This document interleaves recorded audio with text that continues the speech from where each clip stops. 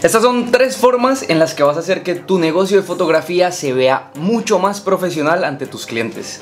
La primera de ellas es tener una página web. Deja de ligar tu portafolio única exclusivamente a Instagram, especialmente ahora que todo es video. Y prepara más bien una página web donde puedas mostrar tus fotos y también todos los servicios que puedes ofrecer. La segunda de ellas es utilizar galerías digitales para enviar tus fotos. Deja de enviar tus fotos usando Google Drive, Dropbox o WeTransfer y comienza a utilizar galerías digitales como Zenfolio, Pixieset o PicTime. La galería se va a ver mucho más atractiva y además que tienen distintas opciones ofreciendo distintos prints o otros tipos de descargable. Y la tercera de ellas es tener un logo indispensable para que la gente comience a reconocer la marca de tu negocio y se comience a identificar con ella. Hay distintos freelancers que pueden diseñar tu logo. Yo utilicé una plataforma que se llama Fiverr, pero también puedes diseñar tu propio logo a través de Canva. Si te sirvió este video, recuerda guardarlo y compartirlo para ayudarle a más personas a crecer